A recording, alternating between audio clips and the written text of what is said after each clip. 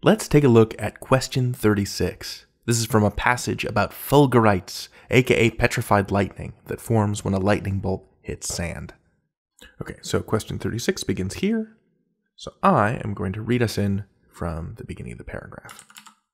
First discovered in 1706, these formations are found in two varieties sand fulgurites and the much less common rock fulgurites.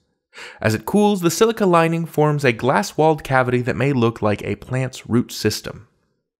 So choice A is no change, and we've got an apostrophe after the S. Choice B uh, puts the apostrophe after the T in plants. Choice C has two apostrophes, one after the T in plants and the other after the S in systems. And choice D has an apostrophe after the M in systems. So all of this tells me that we are looking at a possessive noun question. We're being asked to identify which noun in the underlined section needs to show possession, which means we need to know where the apostrophe or apostrophes are supposed to go. You're likely going to encounter one to two questions like this on your official SAT. Uh, usually, questions like these will have two nouns underlined, and you have to decide whether one, both, or neither are meant to be possessive. So let's review apostrophes and possession super quickly. A singular noun shows possession with an apostrophe s, as in Amadou's cat. The cat belongs to Amadou. That's singular possession. For plural possession, we show that a plural noun is possessive by adding just an apostrophe, no s at the end, as in the cat's tails. Right? Multiple tails, multiple cats. Those tails belong to those multiple cats. So if you're looking at a phrase that says Amadou's cat's tails, we know that the apostrophe placement in cats is wrong, unless Amadou has a cat with multiple tails right? So for plural possession, the apostrophe would go after the S. The tails belong to the cats, and those cats belong to Amadou. Let's head back to the question. If you want, you can pause the video here and take some time to solve this question on your own. All right, let's do it together.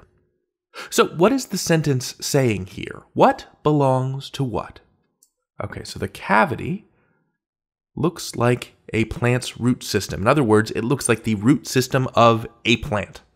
So that root system belongs to a plant. So we need to find the choice that correctly punctuates the idea that this is a plant's root system. And I said a plant. The a in a plant tells us it's singular. So we need a singular possessive. That's plant apostrophe s. So that means we've got s apostrophe in choice A, cross that out, and no apostrophe, just plants in choice D, so we can cross both of those out. And the singular plant would have a singular root system, right? We're not talking about multiple root systems. And so that lets us cross out choice C, right? One plant, one root system. And that means we're done. Our answer is choice B. Here's our strategy. For questions like these, you'll need to have a solid handle on how apostrophes are used to show possession. So first you'll need to master apostrophe use. And once you've recognized that we're dealing with possession, figure out what belongs to what. Once you've sussed out the possession side of things, then ask which nouns are singular and which are plural, and that will help you determine where the apostrophes ought to go. Good luck. You've got this.